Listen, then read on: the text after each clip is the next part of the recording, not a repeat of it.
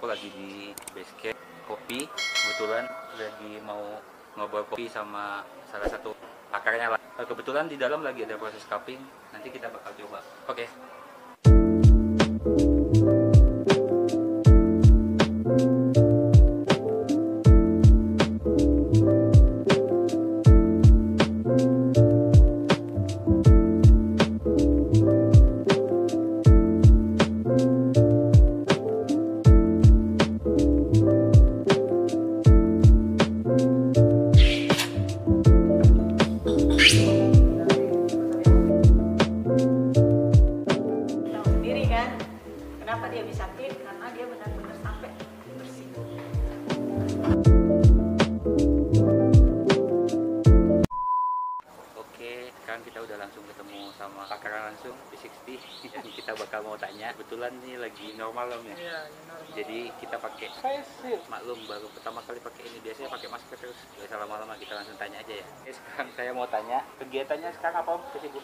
Kalau sekarang masih sibuk dengan pasien karena kebetulan sekarang lagi jadi tim apa satgas covid ya. Masih sibuk dengan pasien, menangani pasien covid. Jadi yang ditanganin sama om topik kebetulan pasien-pasien covid. Tapi aman aja om ya. Aman aja alhamdulillah. Eh, Yang pertama mau ditanya awal mulanya suka kopi itu dari kapan om? Awal mulanya ketika saya masih dinas di Jogja, di Jogja International Hospital. Jadi di sana itu saya pertama kali nyoba eh, kopi susu. Jadi kopi susu itu baru saya ketahui kebelakangan itu bahwa namanya adalah latte. Jadi sukanya enak juga nih. Apa kopi susu kok beda ya sama kopi-kopi yang lain. Awalnya sih bikin ini ya tremor ya, bikin gemeteran gitu kan makanya karena kopi-kopi eh, manual brew gitu kan biasanya cuma kopi saset ternyata eh ya sampai akhirnya saya stop karena begitu masuk ke Bangkalan saya nggak tahu kalau di Bangkalan ada cafe shop yang pertama sih sebenarnya.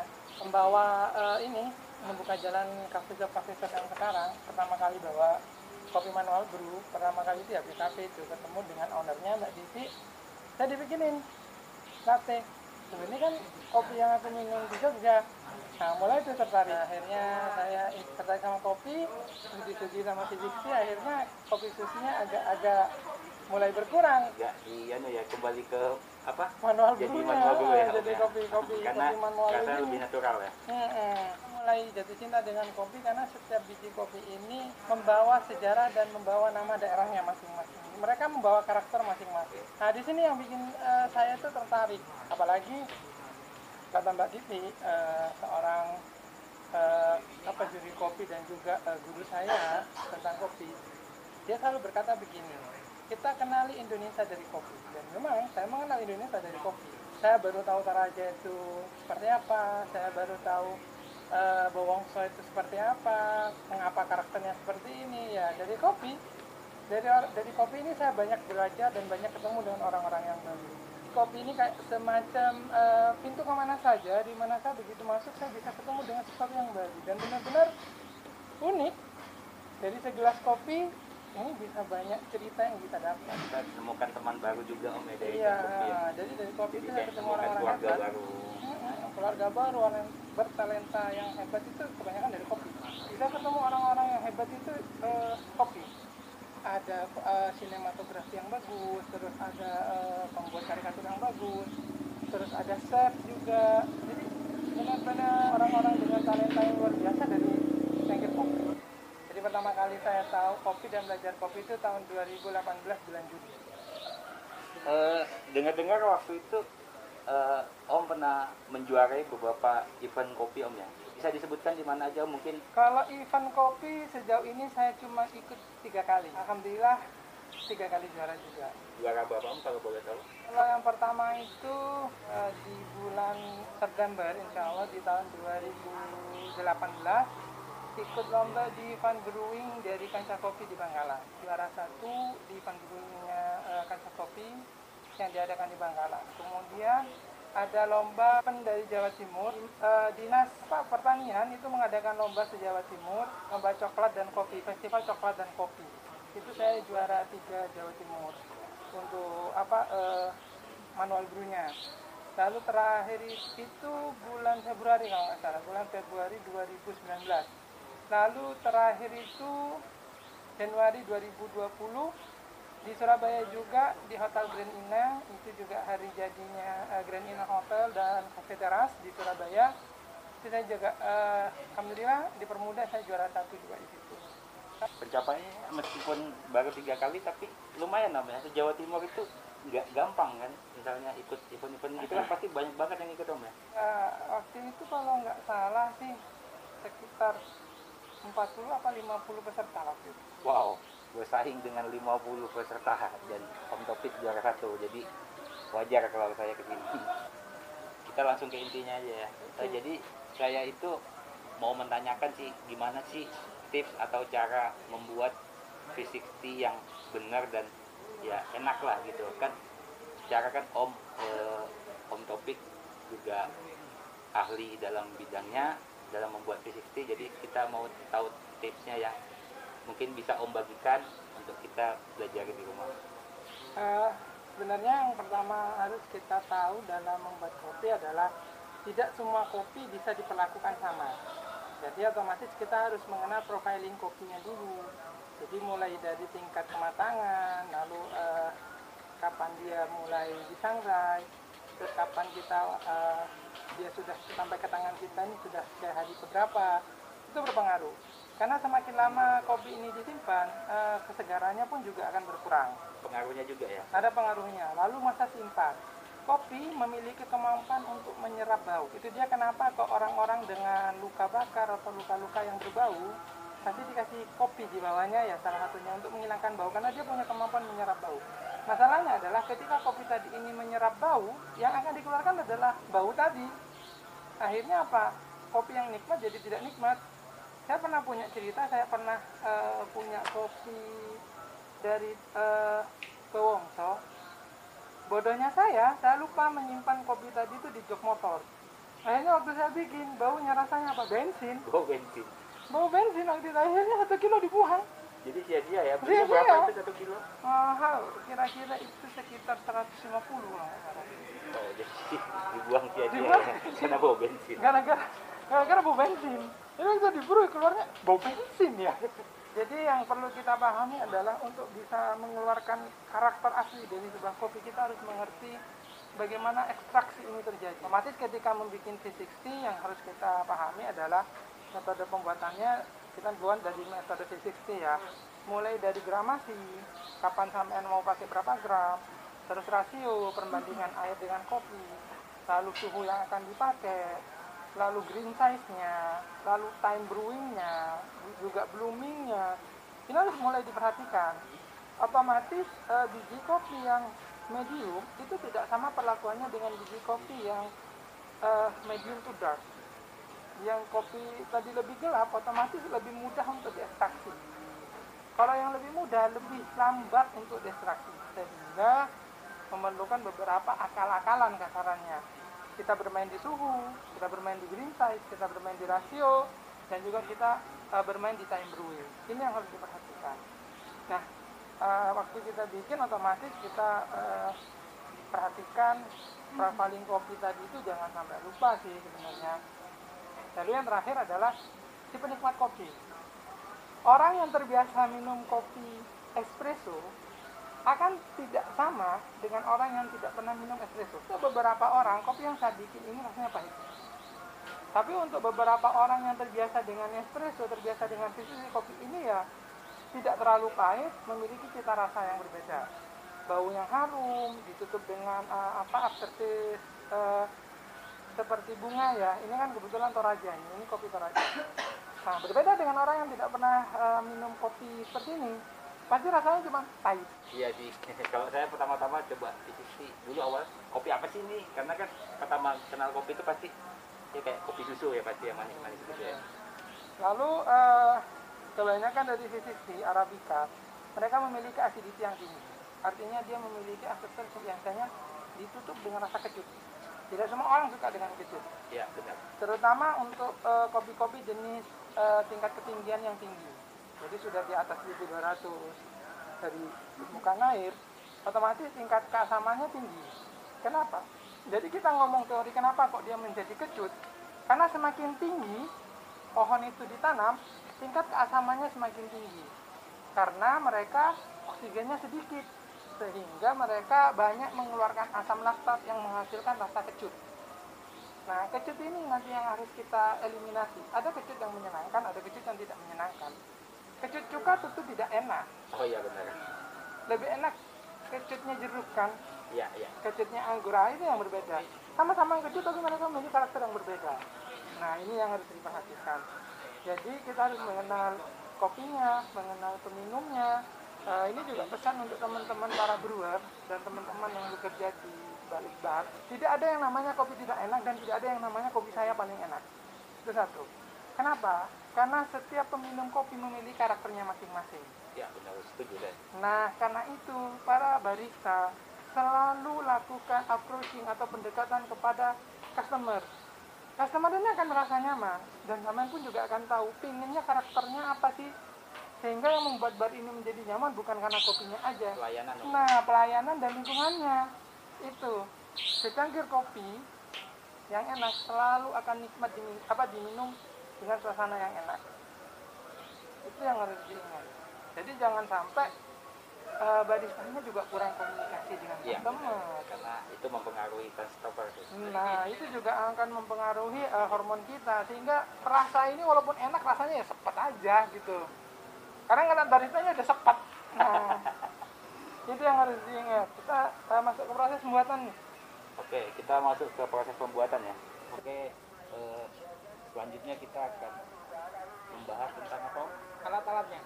Oke, apa alat-alat yang digunakan untuk membuat P60? Bahan pertama, bahan dulu. Yang paling penting adalah kopi. Ya, kalau nggak ada kopi ya nggak bisa buat ya. Ya. Habis kopi jangan lupa paling penting lagi air.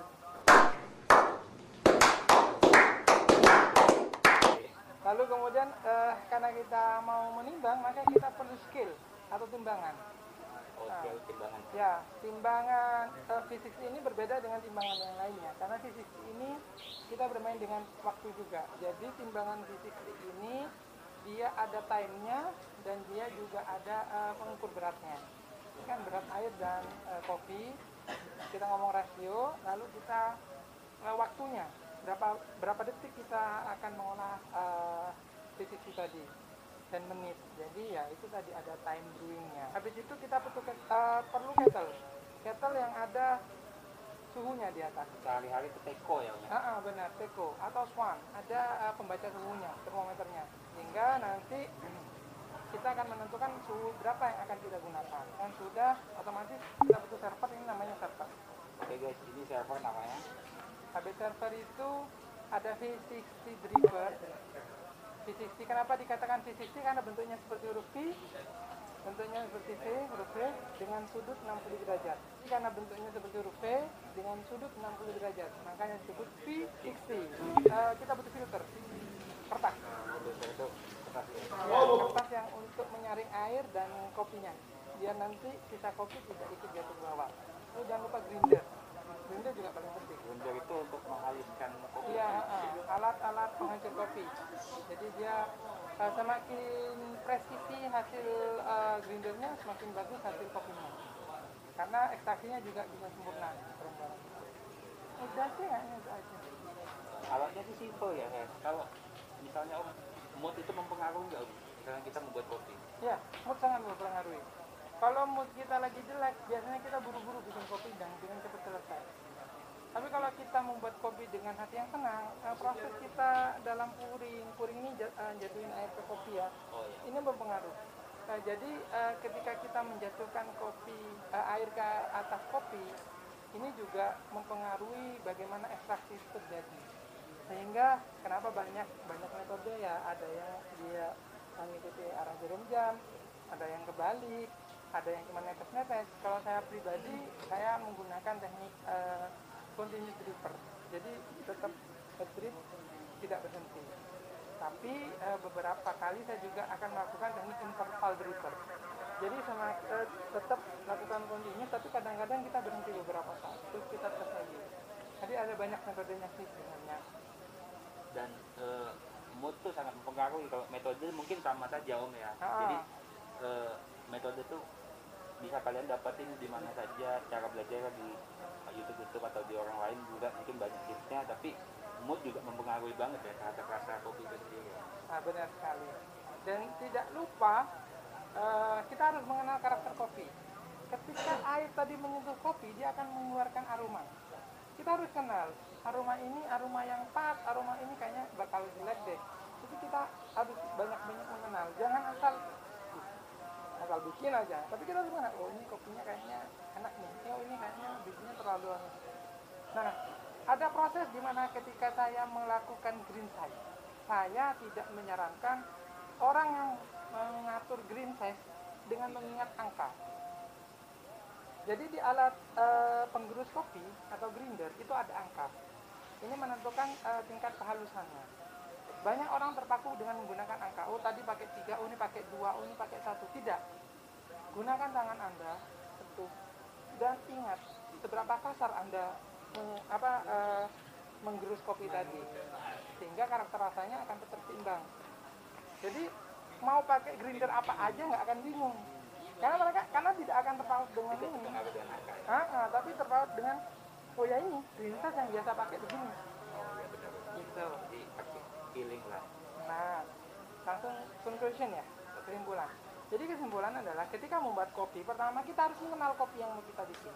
Kedua, kita harus kenal karakter orang yang meminumnya. Yang ketiga, selalu lakukan dengan sepenuh hati. Karena membuat kopi dengan tenang hati akan sangat berbeda dengan membuat kopi yang tidak tenang. Lalu jangan lupa yang kita sajikan ini adalah manusia. Maka manusiakanlah manusia. Ya benar benar. Kadang-kadang kita bertemu dengan manusia, dianggapnya mereka hanya komoditi. Jadi ya karena kamu customer ya ini kopinya selesai. Tapi kalau kita mau memanusiakan manusia, jangan lupa manusia itu adalah makhluk sosial. Mereka berinteraksi. Itu, itu yang sering banget saya eh, ketemu dengan para customer atau para eh, brewer yang seperti itu. Yang satunya ngerasa karena saya customer dan tidak pernah tanggung teng Yang satunya karena saya pembuat kopinya ya terserah saya dong, kopi saya pasti enak. Kalau kamu nggak suka pergi dari kopi saya, dari data no, nggak seperti itu. Kita harus ada komunikasi bermarah. Ya bagi saya tuh setiap mereka bisa buka coffee shop, berarti mereka bisa Kopi. bikin kopi pasti, yang pasti enak ya kan. Kalau nggak bisa bikin kopi ya nggak mungkin bisa buka coffee shop. shop. Jadi Nggak mungkin sih Yang saya nilai ke pelayanan dulu. Kalau pelayanannya bagus, ya saya bakal lama di sana. Yang saya sudah jalan-jalan sebelumnya lah. Kalau pelayanannya nggak bagus, ya udah saya nggak bakal nilai kopi enak atau enggak. Saya sudah Terus pasti nggak enak ya juga. sama Mood sudah nggak pelayanannya enak. udah mood saya udah nggak enak dan nikmati kopinya juga nggak enak juga. Saya pernah kejadian di Surabaya karena eh, dia bikin orderannya lama, kita tinggal. Benar kita tinggal, sudah lah jadi. Nah ini si baristanya juga ngomong, Mas kalau mau sabar kita kasih gratis. Sampai seperti itunya. Sampai mereka benar-benar mungkin merasa bersalah ya. Kita paham lah. Karena membuat kopi itu tidak tidak anu ya tidak tidak serta merta gampang teng langsung ya di kita eh, perlu proses. Tapi karena kita terkejar apa terburu-buru oleh waktu ya mau gimana lagi. Iya sih. Jadi ya mau nggak mau ya ditinggal. Hmm, benar. Banyak orang bisa bikin kopi tapi tidak banyak orang bisa menyajikan kopi. Itu yang penting. Bikin kopi semua gampang. Tinggal kasih air udah udah selesai. Tapi menyajikan kopi. Beda cerita. Kadang-kadang kopi tidak enak kan tertutup dengan rasa yang nyaman. Nah itu dalam mungkin kebetulan lagi enak. Biasanya enak kok. Nah gitu. Itu yang sering kita lupa. Baiknya guys. Jadi ya udah. Kita tutup dulu dan kita mau coba kopi buatan Kopi. Ah. Oke, kita nggak usah bicara tentang bagaimana menikmati kopi atau proses bla bla bla nya itu nanti di episode selanjutnya ya ya. Kita ngobrol langsung sekalian sama salah satu juri nasional. nasional dan itu dijamin. Oke. Oke ini kita akhiri dulu. Om terima kasih om waktunya. Semoga om selalu sehat. Amin amin. Bisa menjaga pasien yang baik. Semoga dilancarkan omnya dan dijauhkan dari segala musibah. Oke guys. Sampai di sini dulu. Salam perjalanan kopi you